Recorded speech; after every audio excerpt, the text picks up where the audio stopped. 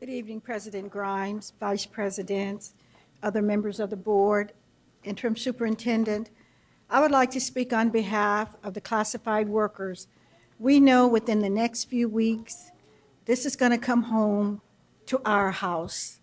I would like to extend an invitation to you. It can be five minutes, 30 minutes, or a day. But would you come and walk a day in our shoes, the classified workers? Maybe not a day, but a few minutes so you can understand the value of our classified workers.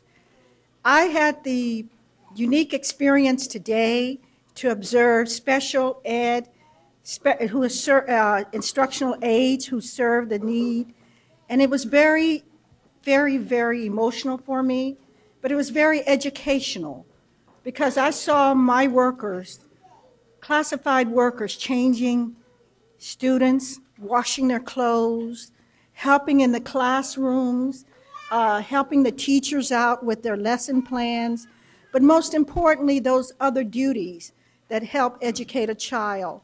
So when you look at the resolution tonight in regards to the layoffs, I know we have to feel some of the pain, but consider our value, our value of helping, assisting the teachers, help us. I was in also a couple of weeks ago, and I wish you would walk a day in my FSA food service workers' shoes.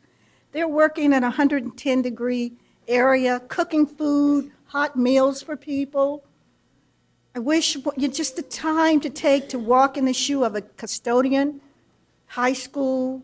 Look at what they do to educate our children, to provide a safe environment. So tonight, on behalf of the classified workers and within the next few weeks, please consider our value when you determine the cuts that have to be made.